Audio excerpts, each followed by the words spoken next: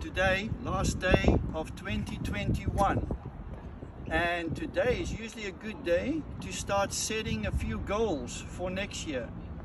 What is your path you're going to take to reach those goals? And today we're actually going to talk about another path.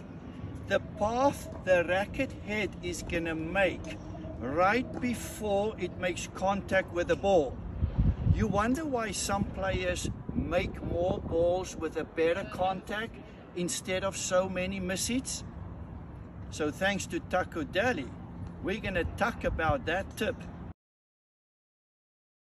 I'm going to first explain this tip with a two-dimensional visual of what is going to happen when you play and the ball is coming to you.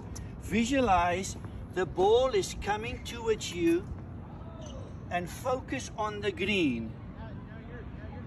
So when people play and they get ready to hit that ball that's coming, they sometimes get out of the path.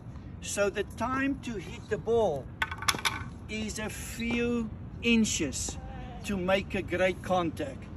What about making that a little bit longer?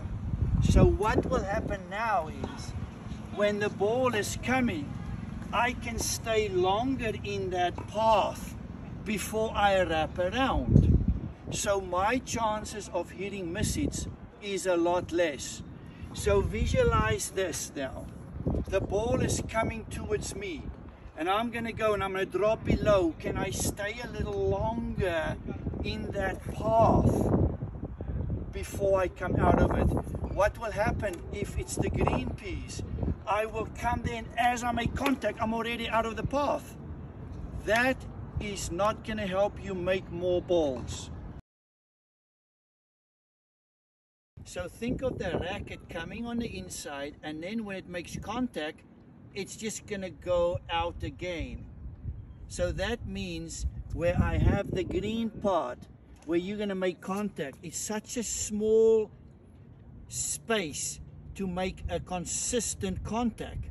Now think this way. When I come behind the ball, can I stay in that path longer in the direction where I want the ball to go? That will create a more solid contact.